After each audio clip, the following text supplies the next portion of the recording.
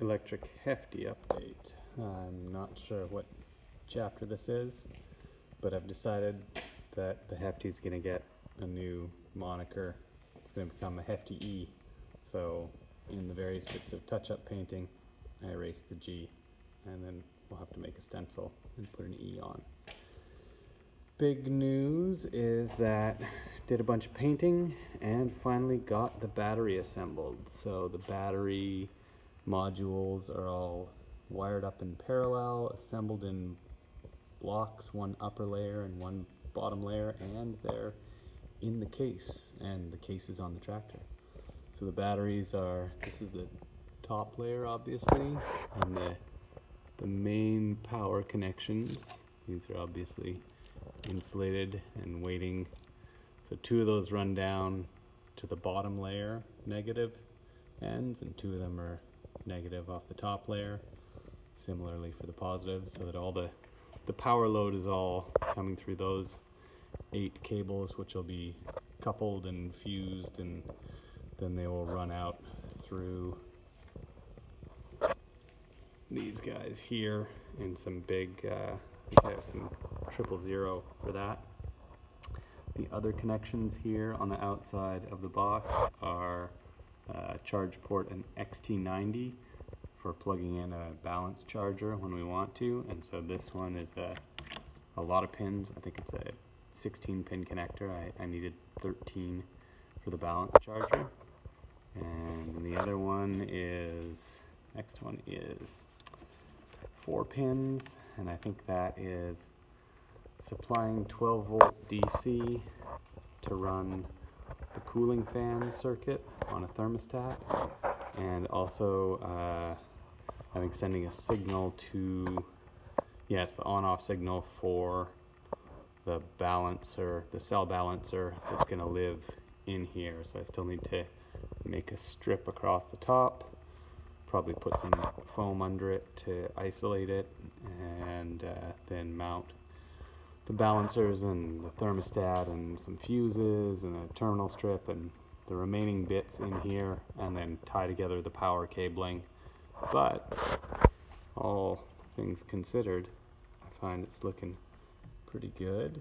And if I remove the wooden prop and make sure the power cables sit flat, should be able to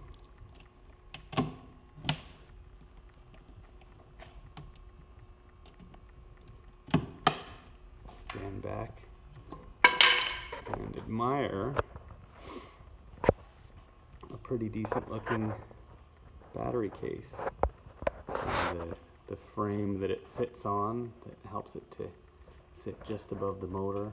It's pretty dark under here, but you can see that it clears the motor okay.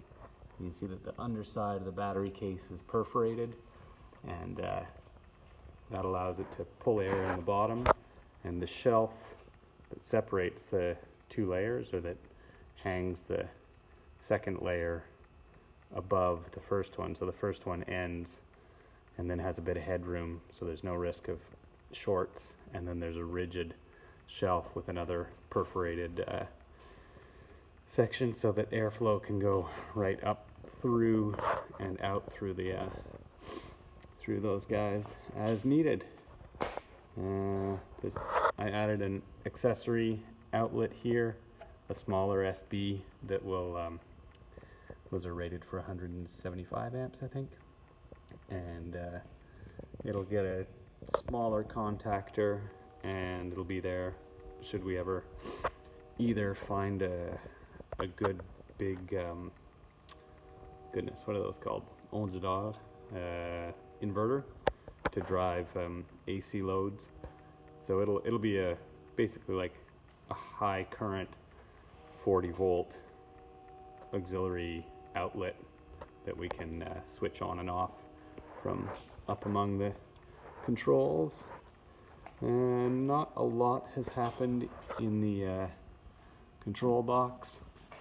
I think it still has uh, just a couple things installed in it. The front uh, sheet will get all cut up and have a bunch of relays and indicator lamps and various and sundry other bits attached to it. And then in the lower level, we have uh, this is just all of the signals that will go to the main controller that controls the drive motor. And then down here, uh, power in from the battery will come in either down here or maybe on this side. So this SB connector, which is a big one, those two cables will run down and then into this enclosure and negative will feed right into this current shunt and by let me see if I can get this I can't remember how this amp seal connector gets out but the the current shunt that you can see behind all that wiring mess it then feeds in through a twisted copper bus bar into the main contactor and when the main contactor is closed, it feeds right back to the uh, controller there. And so that's the negative feed from the battery. Positive will come in to, I think this one's the positive um, on the controller. Almost visible. I can't see from here. Alright, the current shunt will measure the, um, it'll attempt to measure current flow instantaneously and then there's a device that lives up in the dash that tries to integrate that with respect to time and calculate how much current we've pulled out of the battery and thus give us an idea of battery state of charge because these lithium cells are the uh, they're lithium iron phosphate cells and they have a really flat discharge curve.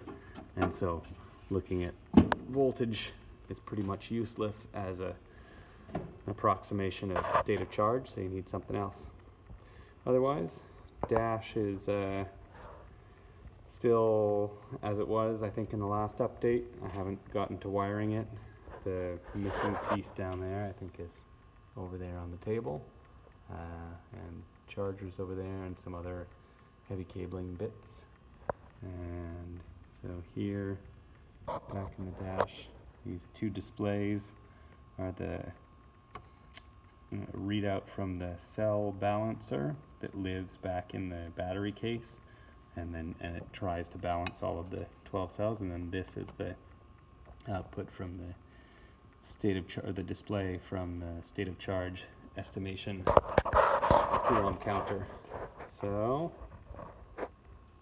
if all goes well the Hefty E will be wired up and operational in uh, just a couple short weeks. Yeah, yeah, I think a week or two might be working. And then we gotta get the tools hooked up so that it can actually do some useful work because it's just about time. It's April 20 something and uh, spring's coming. All right. Thanks for watching.